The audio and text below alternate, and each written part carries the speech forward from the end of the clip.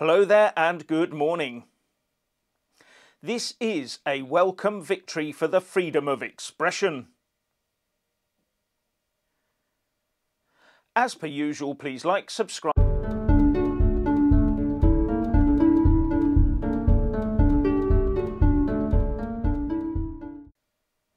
As per usual, please like, subscribe and comment below. And when subscribing, please press the little bell, but also select the all option or you won't get any notifications.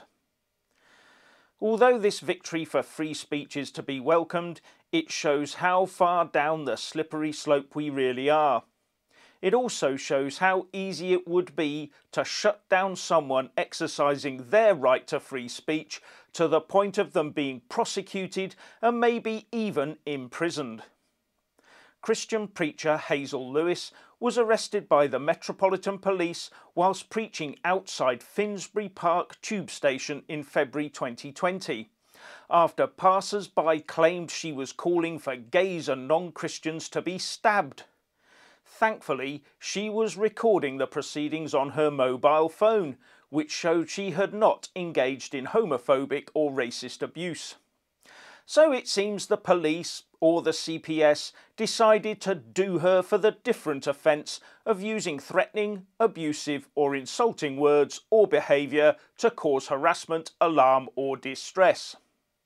According to the Telegraph, Hazel Lewis said the members of the public that complained about her wanted to silence her and twist what she was saying, and also that the Met seemed determined to prosecute her no matter what.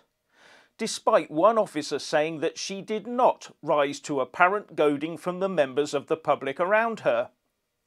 But after 18 months of being dragged through the courts, Hazel Lewis was told by District Judge Julian Newton that although the listeners had disagreed with what she said, she had not been threatening or abusive.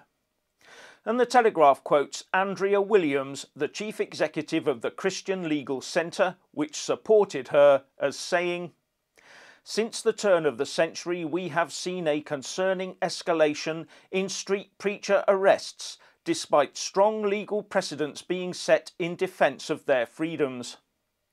It is chilling that one false accusation to the police can see a woman preaching on her own handcuffed, arrested, and prosecuted and by turn of the century she means in the 21 years since the year 2000 in this supposedly more tolerant and welcoming Millennium UK. Hazel Lewis is now rightfully looking to sue the Met. And during her preaching, no one was physically attacked, no property was damaged, and nothing was stolen. It was all based on words and claims of words. Now consider the case if she had not recorded what she did on her mobile phone. The course of justice could possibly, or even probably, have been perverted. She could have been found guilty on a false allegation of words.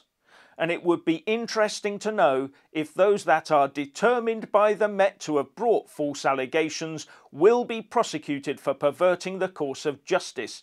It would be a good deterrent or will they be let off scot free to try it on with someone else? But Hazel Lewis is not the only one. The Christian Legal Centre is supporting others who have found that preaching the word of their Christian God in the UK can quickly draw the attention of the authorities who seem intent on shutting them down. We have it poured on us every single day that we in the UK must learn to be more tolerant, except now where Christianity is concerned, it seems. These days it appears it is the Christians who are not to be tolerated. Would the police have dared to act in the same way against someone preaching any other religion? And if not, why Christianity? This may be a victory for free speech, but I fear it is a small isolated step.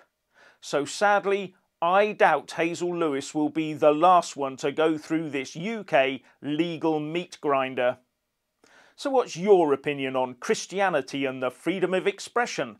Please like and comment below.